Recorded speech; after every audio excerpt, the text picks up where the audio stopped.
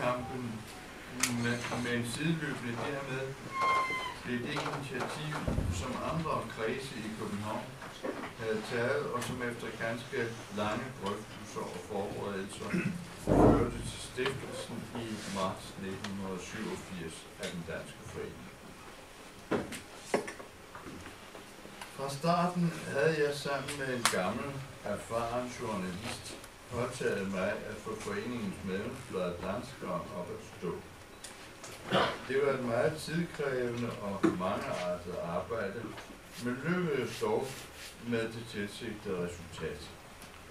Det var derfor ikke efter ønske, at jeg i 1988 måtte påtage mig også at være foreningens formand og måtte bestride begge værv, indtil det endelig i 1990 lykkedes at få Ole Hasselberg til at påtage sig formandsværvet.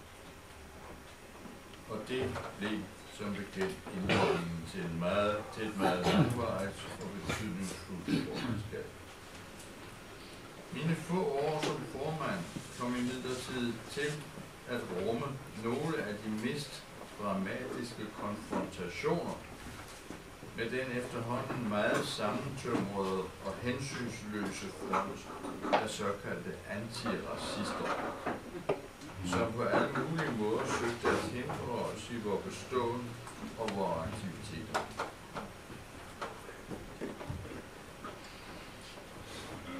Det var begyndt allerede ved vores stiftelsesmøde i Virumhallen, i øh, Virumhallen den 18. marts 1987 med voldsomme angreb og fortsat ved vores følgende større møder. Nu fortsatte det med nye midler for at hindre, at vi overhovedet skulle kunne møder for vores medlemmer og sympatisører eller for almenheden.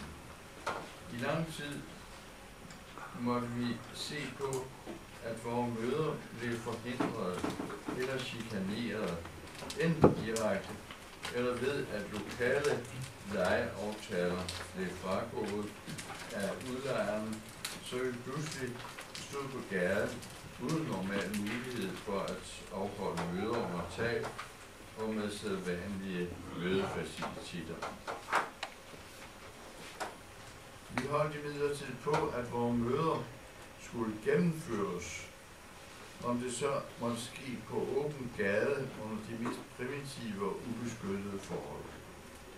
Det gav selvsagt vores modstandere mulighed for at angribe os fysisk og henviste os til at stole på den beskyttelse politiet, så var forpligtet til at byde os.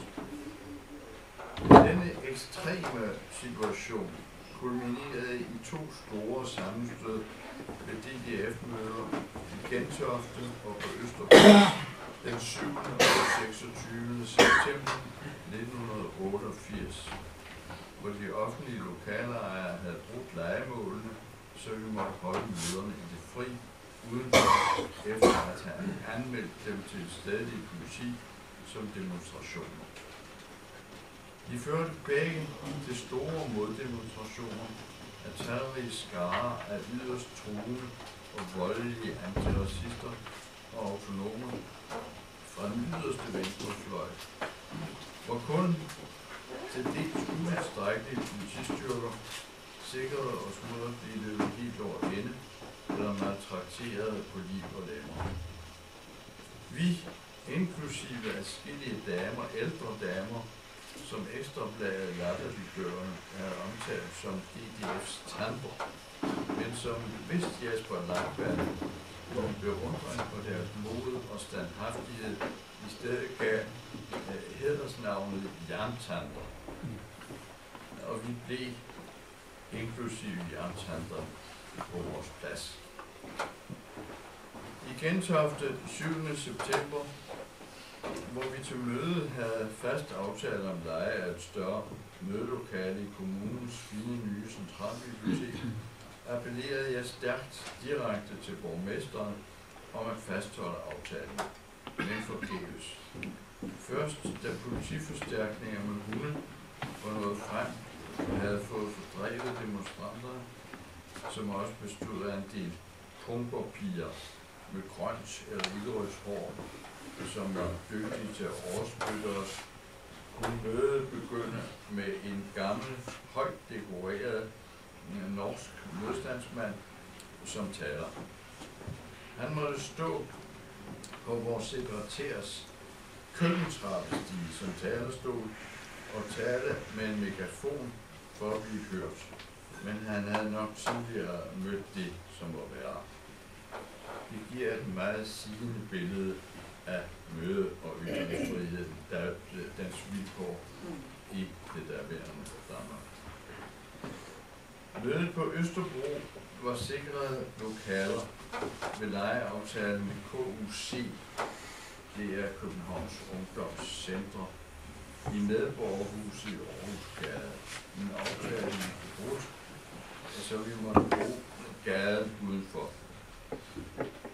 Ole Hasselberg skulle meget passende til situationen tale om indvandringspolitikken og ytringsfriheden. Moddemonstranterne havde fået anvist en tilstødende gade, men myldrede hurtigt over til os, hvor politiet kun med største besvær kunne holde dem stangen.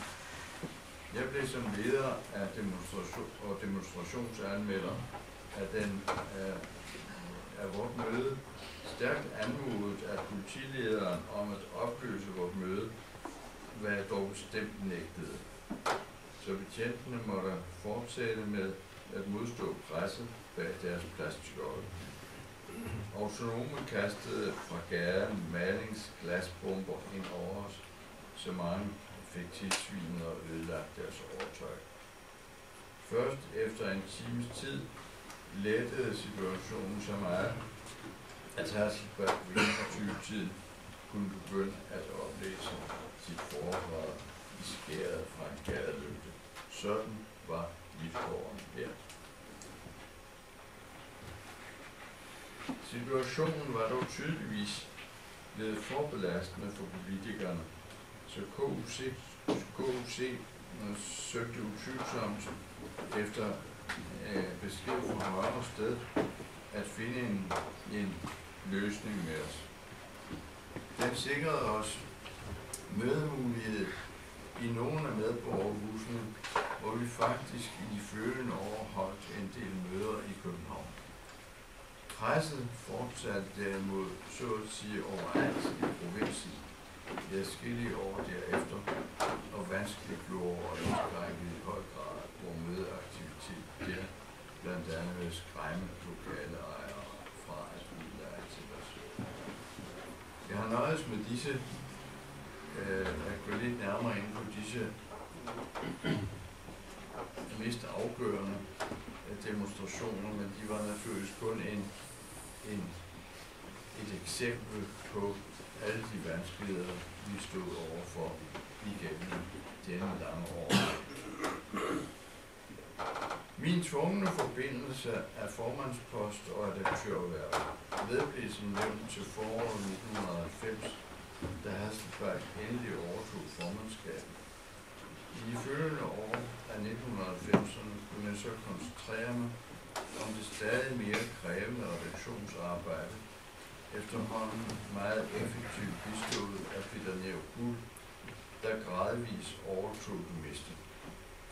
Jeg vedblev dog at stå som medieansvarlig redaktør og gennemgik fortsat på forhånd de enkelte numre for at bistå med råd og død til de skiftende producerende personer og forskning at gribe ind, hvis der agtedes optaget noget, som jeg af den ene eller anden grund måtte afvise. Den tilstand fortsatte til 2006, da der skete så store ændringer i produktionen, at jeg fandt, at jeg måtte fratræde som ansvarlig redaktør, hvilket for dog først blev effektueret og fremgik af bladet fra foråret, fra foråret 2007.